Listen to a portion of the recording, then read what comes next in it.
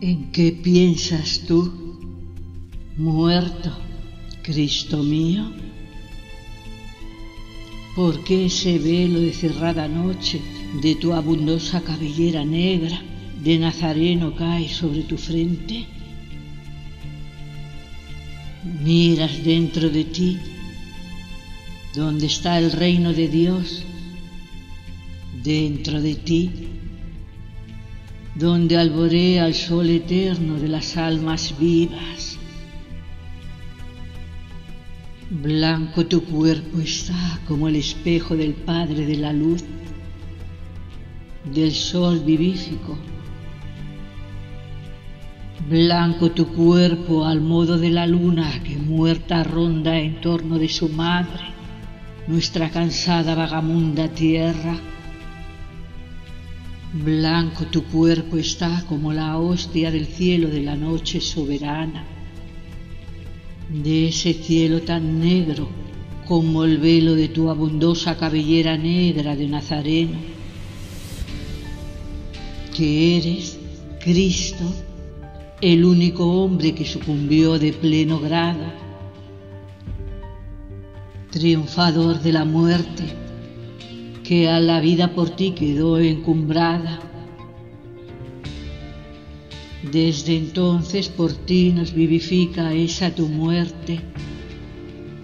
Por ti la muerte se ha hecho nuestra madre. Por ti la muerte es el amparo dulce que azucara amargores de la vida. Por ti, el hombre muerto que no muere blanco cual luna de la noche. Es sueño, Cristo, la vida y es la muerte vela. Mientras la tierra sueña solitaria, vela la blanca luna, vela el hombre desde su cruz mientras los hombres sueñan.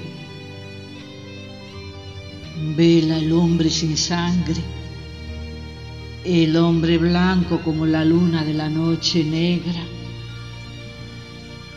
Vela el hombre que dio toda su sangre, porque las gentes sepan que son hombres.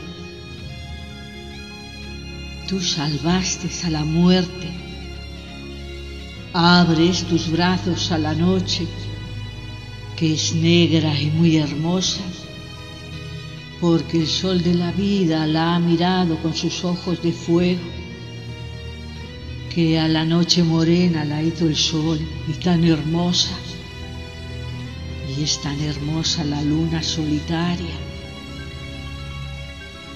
La blanca luna y la estrellada noche negra cual la abundosa cabellera negra del Nazareno, blanca luna como el cuerpo del hombre en cruz, espejo del sol de vida, del que nunca muere. Los rayos, maestro, de tu suave lumbre nos guían en la noche de este mundo ungiéndonos con la esperanza recia de un día eterno.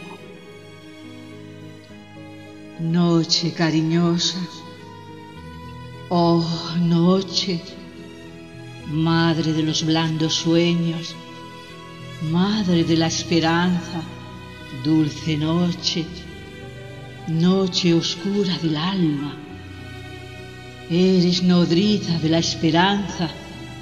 En Cristo. Salvador.